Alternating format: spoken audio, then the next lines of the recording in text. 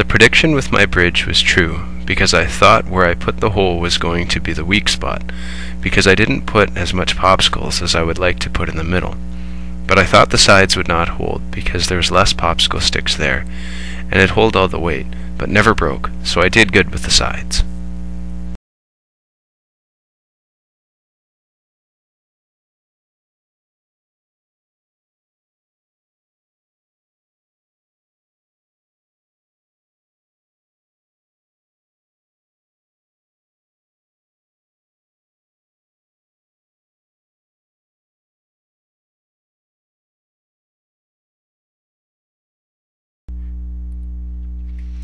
My bridge failed because the glue on the triangles didn't hold, and the triangles were all gone at the bottom, so it started to bend until the rod couldn't go down any farther, so they put the bar back up again and bent it until it broke.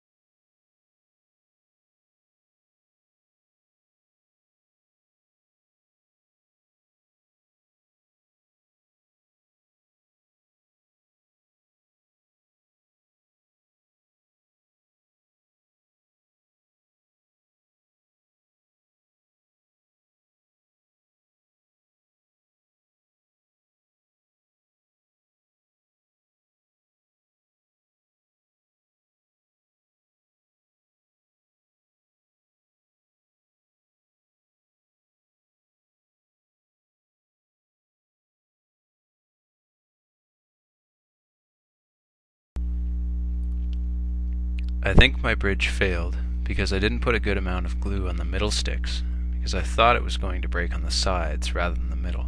because at the sides that weren't strong.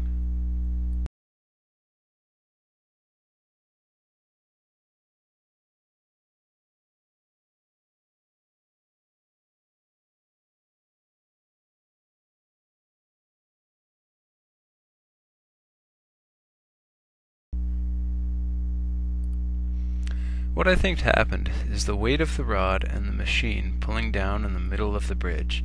and the forces that were acting on it, made the joints break that were holding the most weight, while we were putting more forces on the middle. What happened too is that the tension started ripping the joints apart, and that's why the glue made the joints fail. I think that if I put more thought into the bridge, and had time to test different ideas, I would have been able to make a bridge that could hold more weight and would be stronger from tests that would show where the weak spots are and how they affect how much weight my bridge could hold when we put so much weight on the bridge. I think if we were able to use 200 popsicle sticks, we would be able to build bridges that could hold a lot of weight. If I was going to change anything on my bridge, I'd make the sides stronger by putting more popsicle sticks that would be holding the weight, so they just keep stiff. And I would make the ends stronger and the middle by putting more popsicle sticks there so they wouldn't bend as easily.